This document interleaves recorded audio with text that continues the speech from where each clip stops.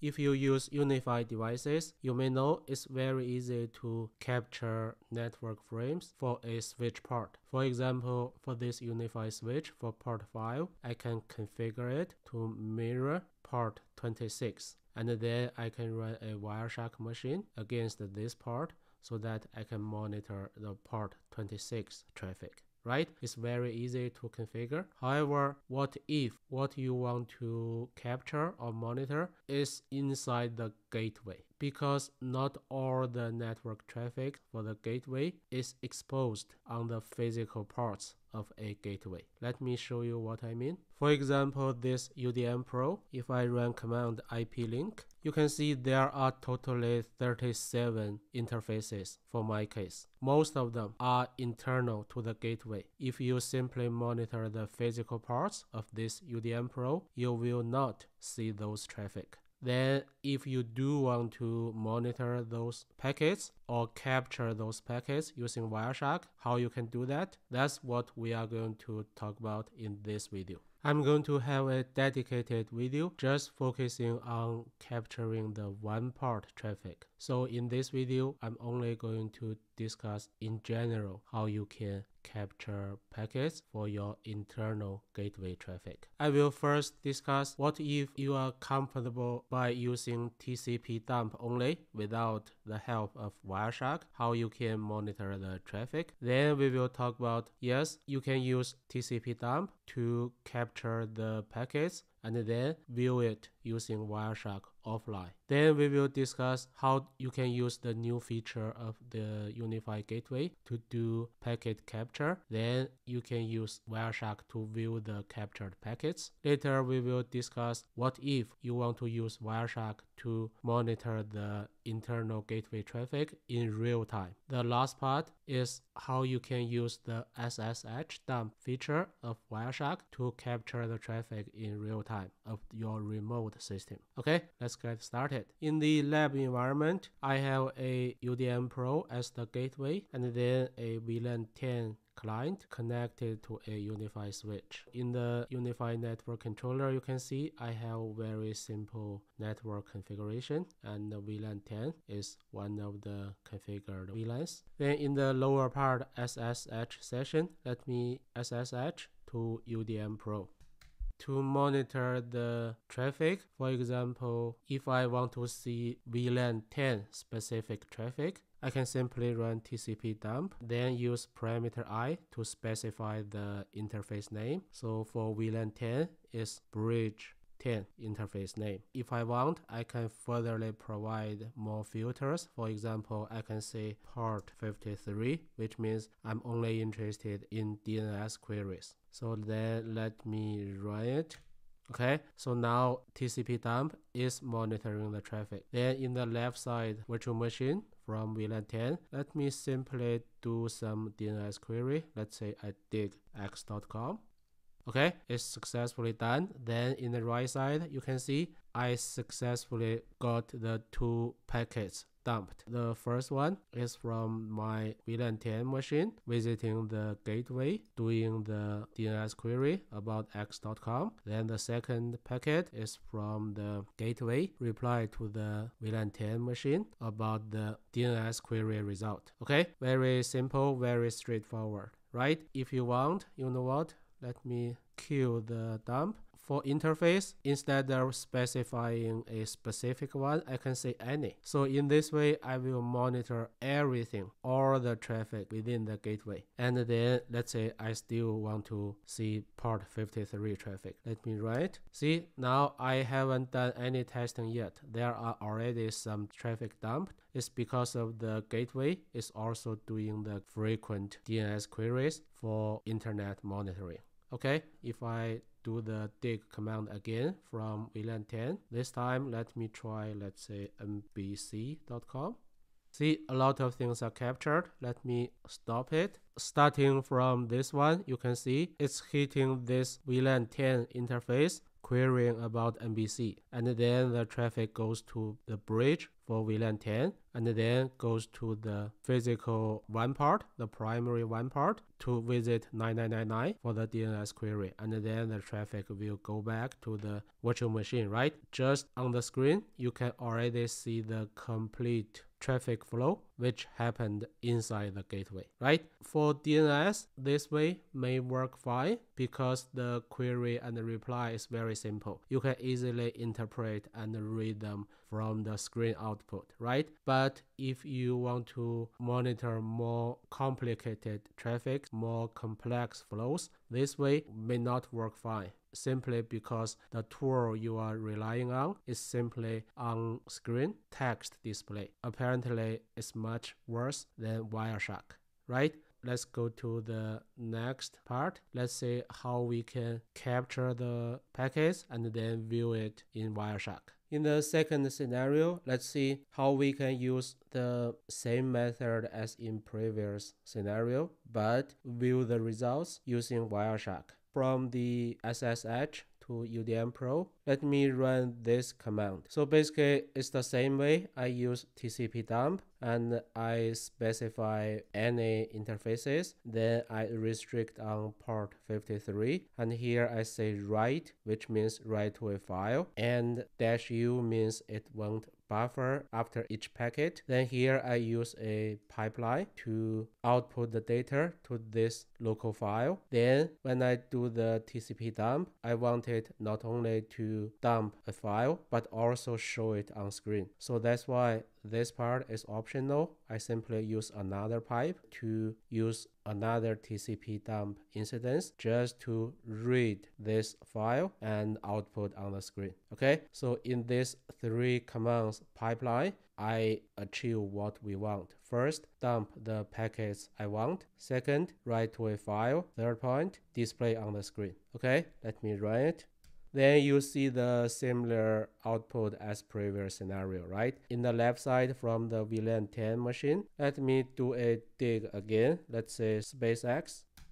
Okay, done. Then kill the TCP dump if I list the local file, you can see this file is there because of our command. So now the next step for us to somehow transfer the file to our local machine so that we can use Wireshark to view it. You can easily use SCP, which is based on SSH to transfer the file. Let me show you. So exit the SSH. Now I'm in the local Wireshark machine. Simply run this command. I will SSH to the UDM Pro and copy this file to my local machine. That's the simple SCP command. Here I need to use my SSH password. Okay, see the file is transferred. It's about 3 KB. Then I'm ready to use Wireshark to open it locally. Okay, I already opened Wireshark. Let me open the file I just transferred.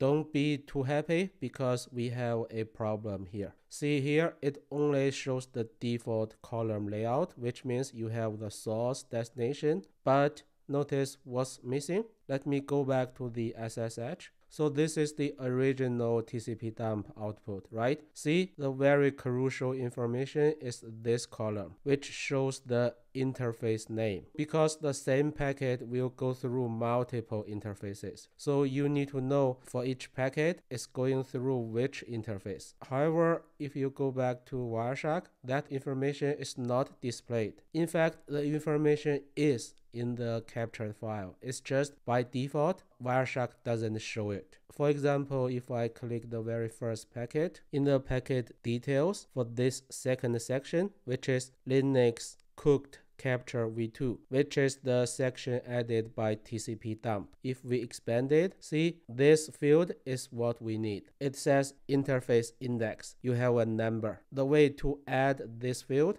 to the column is you can simply right click on any example packet. Then see here apply as column okay? So then you have a new column here. If you are not happy with this column layout you can right click on it and say column preferences. Then you drag this new column all the way up as the second column. Okay, you see now you have the second column, which is the interface index, right? Even though now you have this column, you may still not understand what it really means because you simply see different numbers, right? In fact, this number is the dynamic interface number in UDM Pro. Let me show you SSH to UDM Pro again. Let me run ip link command See, for each interface, the very first information is a number. That's the interface index. It's dynamic. It's not hard-coded. Depending on your configuration in your UDM Pro, you may have different numbers for your interfaces. You have to go back to SSH to find it out which number is corresponding to which interface. Let's go to the display index number 3, index number 34, right? Let me use these two index number as example to show you how to understand the numbers 3 and 34. Go back to SSH See was 34? 34 is our VLAN 10 bridge. What's 3? 3 is Ethernet 9, which is the primary WAN port. Okay, in this way, we can understand what really happens. Then the next thing is just to use the user-friendly, powerful UI of Wireshark to analyze your captured packets. Okay, in this way, in three steps, we successfully achieved what we want for this scenario. Okay, let's move on. If you don't want to use command line, you may want to try the new feature from Ubiquiti. So if you go to devices, click on UDM Pro, see here, there's a button called packet capture. Click on it. You can select a network. For example, let me choose VLAN 10. Then let me use the default 30 seconds. Start capturing. While it's running in the lower part, the Linux virtual machine, let me dig x.com. Okay, it was successful. Then wait for the 30 seconds to pass. Okay, the button changed to download file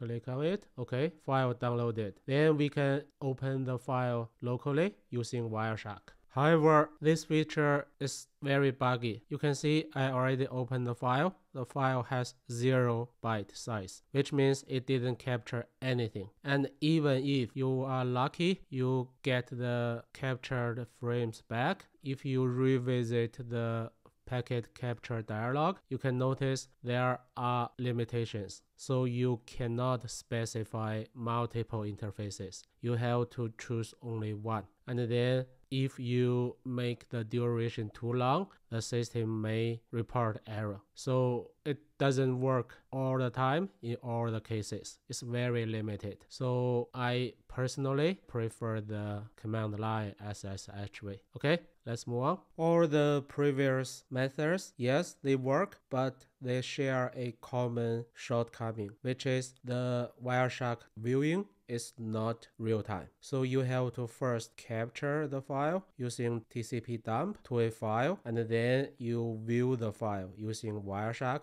offline. How you can achieve real time capturing and viewing in Wireshark, we can rely on Linux pipe in the lower part Wireshark machine. Let me run this make FIFO. So basically what I'm doing is I create a special first in first out file. The name is test. It will be a named pipe. So let me run it.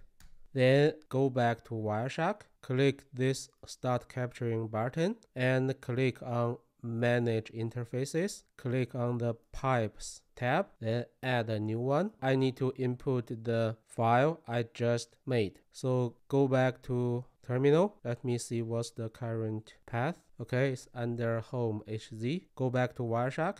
Then for pipe path, let me use home hz test. Okay, then make sure I only select this new interface because by default, the first interface is also selected. So I need to make sure I only highlight this new interface. Then click start button. Okay, you see the capturing has started, but nothing's captured. The reason is there's nothing feeding into the named pipe yet. So let me go back to terminal. Let me run this command. So what I'm saying is let me SSH into UDM Pro. then run the command inside the double quotes, which is TCP dump command, right? And I will write the result to a file to capture all interfaces with this filter. Then at the end, I redirect the result to the named pipe. So the remote TCP dump will output to this named pipe in my local machine. That's the magic. Okay, let me it. Okay, here I need to input my SSH password to UDM Pro. Okay, the familiar TCP dump, right? Then if we go back to Wireshark, see Wireshark is already capturing packets in real time. In the left side VLAN 10 machine, let's validate the capturing is indeed in real time. Let me dig x.com.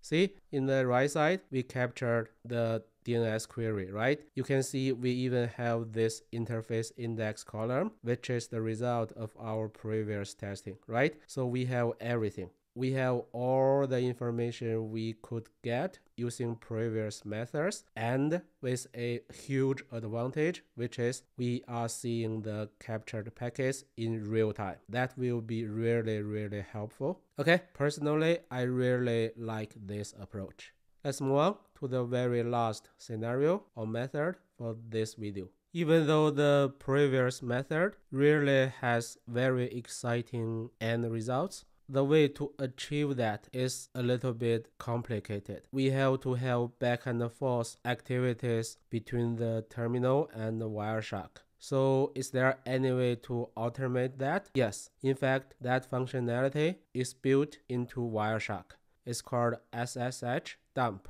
If we click on this capture options button, see there's a option, it's called SSH remote capture, SSH dump if we double click on it. Here you need to input a remote SSH server address. So what I want to use is our UDM Pro. Then for SSH port, of course, it's 22. Then for authentication, I need to give it the username, which is root for password. Use my super secure password. Then click on the capture tab for remote interface. I want to say any. I want to use TCP dump. For remote capture filter, I want to see port 53 and I don't want to limit the packets to capture. That's it. Let me click the start button. Okay, there's no error. See, it is showing the captured packets in real time. Then to validate it from the left side VLAN 10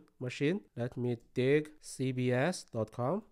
Okay, in the captured packet, we see this DNS query. It's successful. Apparently, this way is more user-friendly than my previous manual approach. But under the hood, it's the same thing. Okay, this ends the video. Hopefully, you have your preferred way to do the capturing already. Thanks for watching.